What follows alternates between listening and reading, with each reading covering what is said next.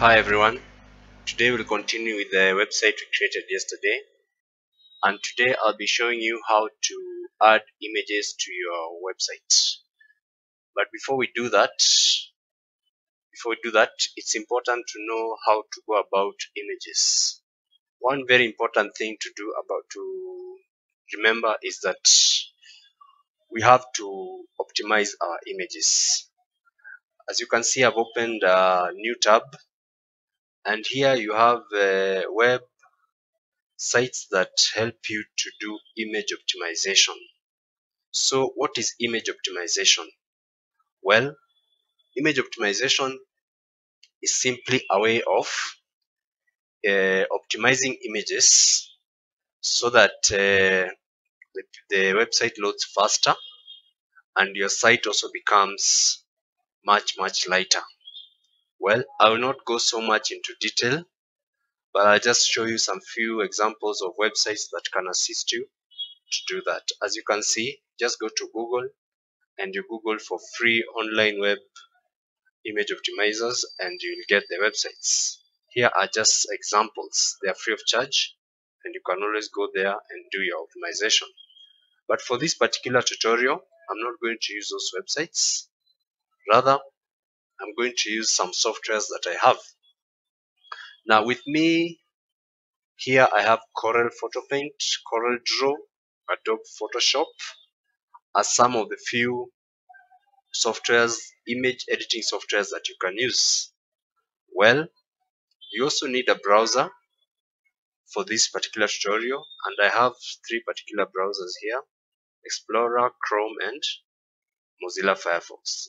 These will help us render our pages and see how images uh, load.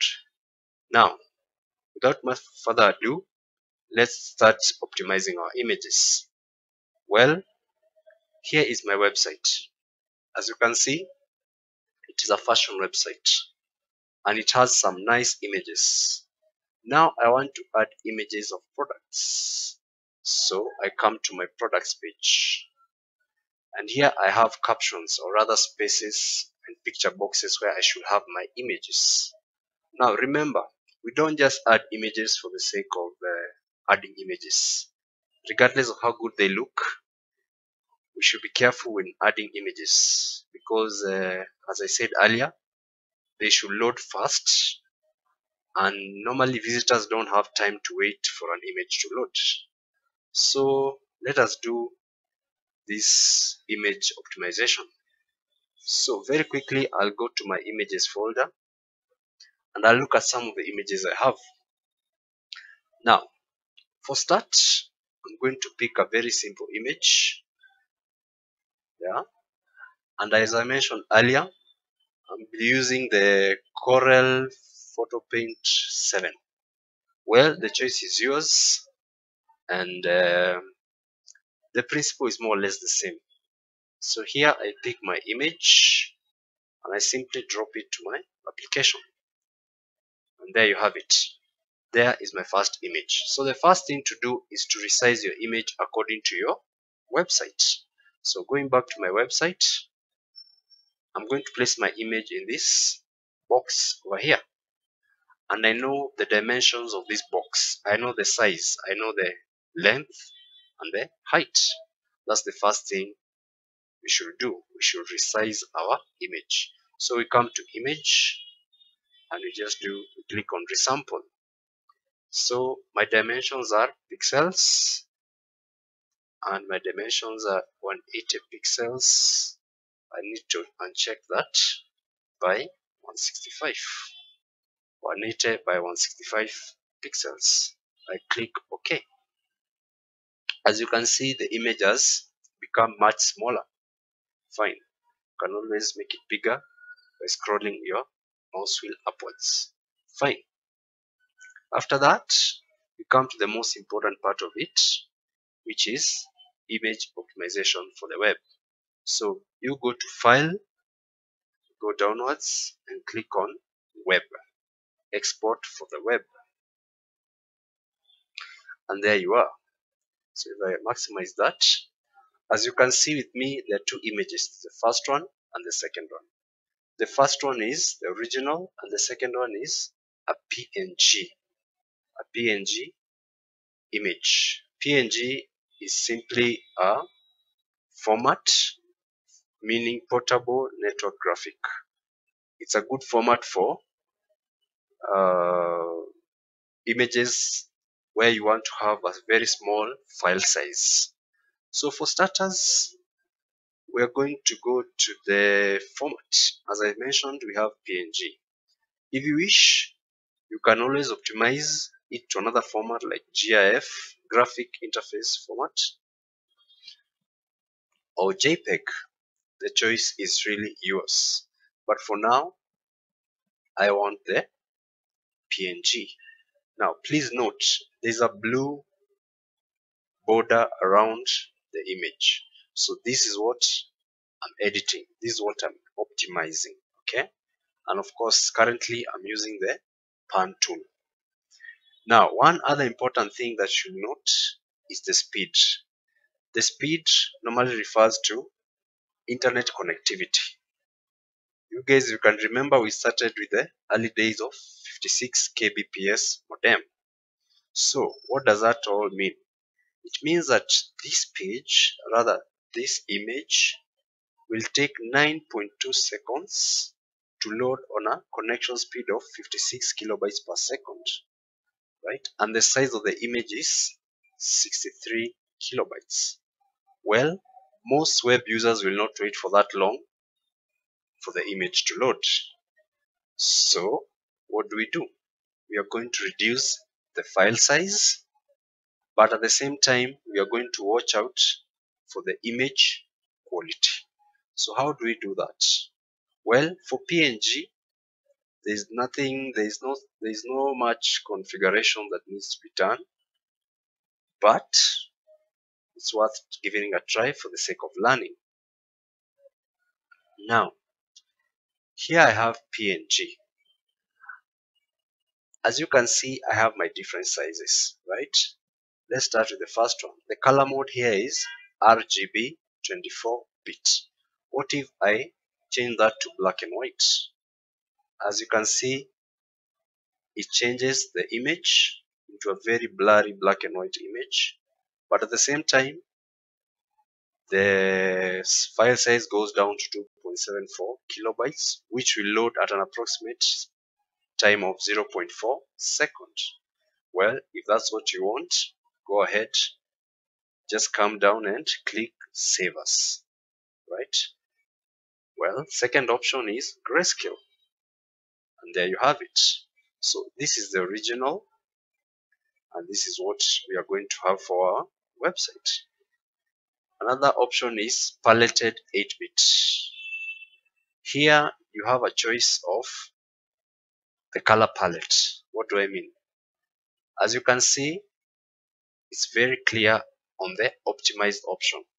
What if I change to image palette well it's quite noticeable. You'll see some noise and uh, some grain if you wish and that's not what we want. Fine let's look at adaptive. That's another color palette. Uh, not very bad what about the file size? 25 point 26.5 kilobytes loading at 3.9 seconds. Let's look at another option.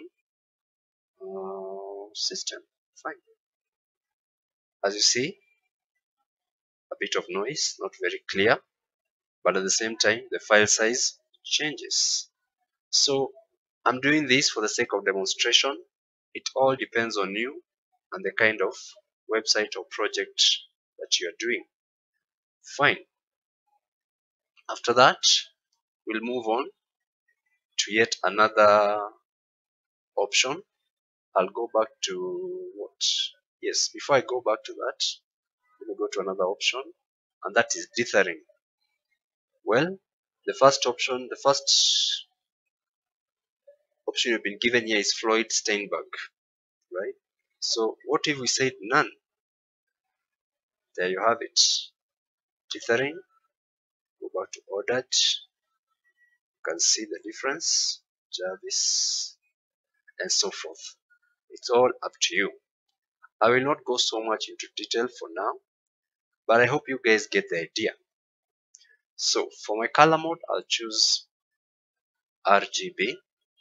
That is just green, green, and that means just red, green, and blue. 24 bit. It's good for the screen. Now, one last point before I save this image is that you can have a two up, right? You can have a comparison of the two images, the original and the PNG, or rather the, the choice that you've chosen. You can also align them horizontally, yeah, and do the comparison. Or you can have a four up comparison where you can choose between three options, right? The first one being PNG. Here it is. The second one is also a PNG, but with different settings. And the third one is a JPEG. And the first one is always a the original. So please make sure whenever you're saving, you choose the one that you wish to save. For example, how do I know that? Always look at the blue. So if I choose that, that is what I'm going to have for my for my website or rather for my project. Uh, but, as, but, uh, but as it is, this image is still very very big. 63 kilobytes? Uh, it's quite huge. Let's reduce that. And how do I do that? I can instead of having RGB 24 I can go to paletted 8 bits okay? And I can choose optimized right? And then for the previous previous setting I had 24 24 bit RGB color. As you can see the paletted 8-bit and the color palette optimized is 24.3 kilobytes, loading in 3.5 seconds. But for the RGB24 PNG, it is 60.4 kilobytes, loading at 8.8 seconds. So I hope you guys can see the difference. I hope you guys can see the difference. So what you should always bear in mind is the quality and the file size. So always endeavor to have the highest quality at the lowest file size possible. This will enable your images to load fast and will also make your site much much lighter. This will help you in SEO and also in achieving your goals for your website or your web application.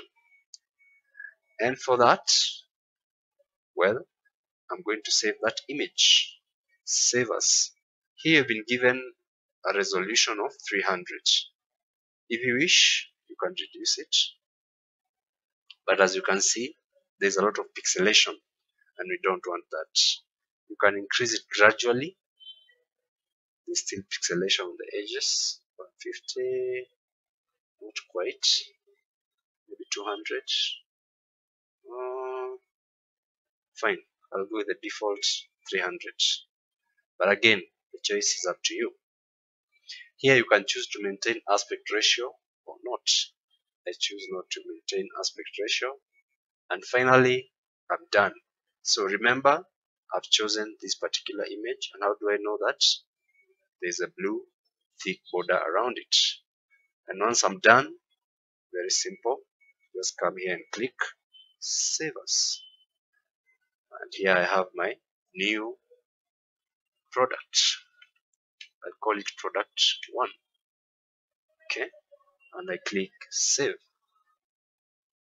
Once that is done I'll simply minimize my image editing software and come back to my site. So here is my site okay? Now what do I do with that image? I want that image in the products page. Products page. How do I get to the products page? Remember, come to your root folder, click on it, and of course, here it is. Products page, there it is. So I want to have it here. Well, please pay careful attention. So what we do, we come to the folder, our images folder and of course uh, we look for image oops something went wrong there I don't know why let's try and save it again. Let's try and save it again. The save for web. On that